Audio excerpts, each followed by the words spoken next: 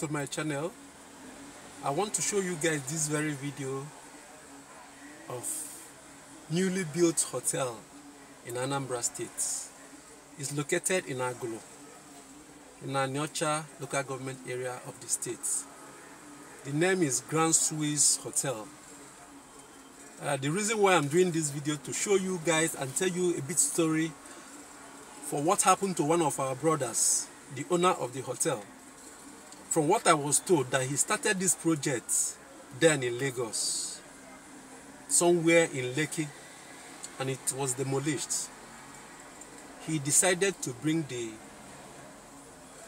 investment in his hometown. This beautiful edifice has been completed and will be commissioning before Utah season. So, this is a very big lesson to our people. That's the reason why I'm pleading advising to our people think home bring your investments home. Not to abandon or not to invest where you reside and all that. You understand? But think home. At least one of your investments even even if if anything happen to other investment at least the one in your base nothing will happen to it. Let's build our states. Let's build our states. It gladdened my heart um, when I visited um, Harbour Industrial Layout, which I've shown you guys the video, many industries built by our people. So our people should think home, not just hotel, industries that will employ our teeming youths. So I want to show you guys this beautiful hotel. It will be opening soon. Then there is this another another video that will show you guys here uh, it's called um, um, Manest Man. Manest Man. Forget the name, but it's one of the best here in the southeast. So I will show you guys the video. It just opened about on Sunday, a few days ago. So I will show you guys. Relax and enjoy the video. Thanks. This is Grand Swiss Hotel Agulu newly built and will be commissioning soon. Watch this beautiful hotel.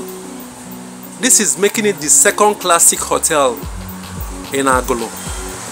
First is Golden Tulip Hotel, known as Agulu Lake Hotel. Agulu is home of tourism boast of Agulu Lake and other interesting storage sites within the town. Enjoy the video.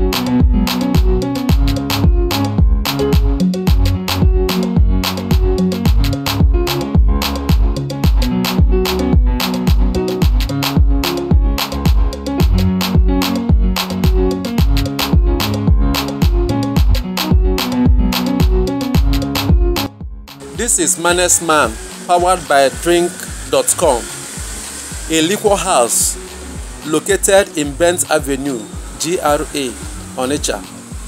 Comes with first outdoor 5D lead screen billboard in Nigeria. Now, Onitsha can boast of nightlife, an interesting place to visit.